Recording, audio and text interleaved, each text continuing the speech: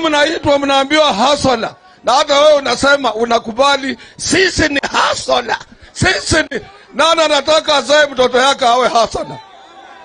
Nani anataka asomeshe mtoto yake arudi awe hasola? And you are proud. Sisi ni watu ya wilibaro. Nani anapeleka mtoto yake kwa shule asukume wilibaro? Watoto ya William Ruto, hakuna yule ambaye ni hasola, hakuna yule ambaye anapatiwa kazi ya kusukuma wilibaro. Kenya sasa inaangalia mbele na mtu atakayepeleka sisi mbele ni mtu mmoja katika nchi. Mimi nikiwa kama kiongozi wa wafanyikazi siwezi kuwa mislead.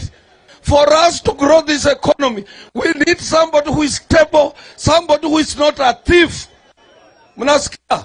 Wale vijana wenu wanaungana na Ruto wote ndio walikuwa wanashiriki kwa mambo ya tenda ya wizi, na mnataka mfikirie mara pili watu wa Central.